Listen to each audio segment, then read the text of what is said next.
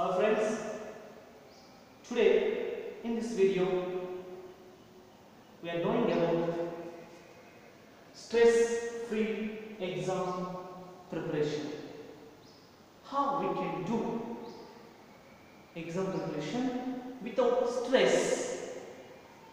Generally, students before one month examination, one day exam, at the time in their mind a stress field is developed. What are the reason to develop a stress? Here, students compare with other students. It leads to stress in our mind. For example, ex student or a person. Generally they are compared with others. Without knowing their potentialities abilities in the learning when they are compared with others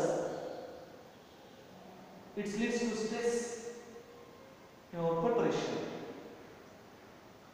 This ex student having normal ability in the learning process but you compare with the junior student then what will happen? Anxiety. Leads to stress. So before the preparation we have to know our abilities our potentialities. How it is possible? By the self-esteem self-evaluation we can know what are the our learning abilities. Based on the self-esteem self-evaluation we can frame our preparation schedule. After the preparation schedule in our preparation platitude we develop. How we can overcome platitude by giving a small break we can avoid platitude in our preparation in the platitude if you are not take any break that is useless preparation.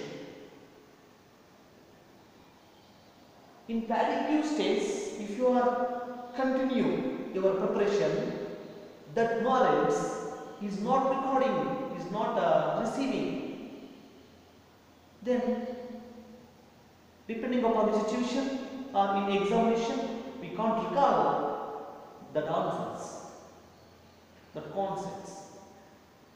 So when platitude is done in our preparation we have to take a small break. In that break we can do a small exercise. 777 what is this 777 it is a breathing exercise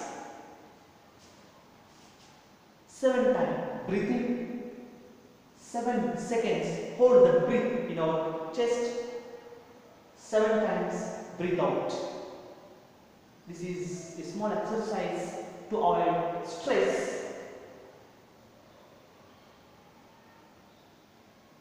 Not only these three tips avoid the stress along these three factors or three tips another tips are there maintain sleeping hours regular exercise yoga. These all are useful to avoid the stress. Then easily we can learn more concepts